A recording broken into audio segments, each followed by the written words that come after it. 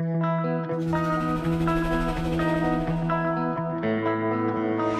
je m'appelle Zrak Nasreddin, euh, je suis diplômé de, de.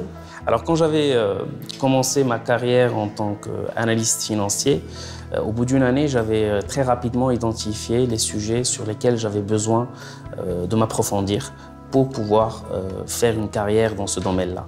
Euh, en faisant le tour un petit peu du, marché, j'ai réalisé que le master de Mondiapolis exécutif en management financier international répondait parfaitement à mon, besoin. La qualité du master, euh, je pense, elle vient par la qualité du programme.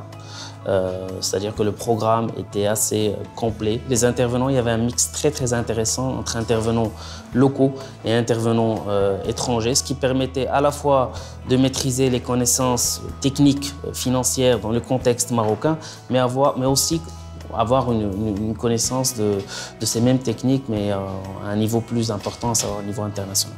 Mondiapolis a été pour moi une opportunité et un moyen pour postuler pour un poste toujours dans le même domaine, mais avec plus de responsabilités.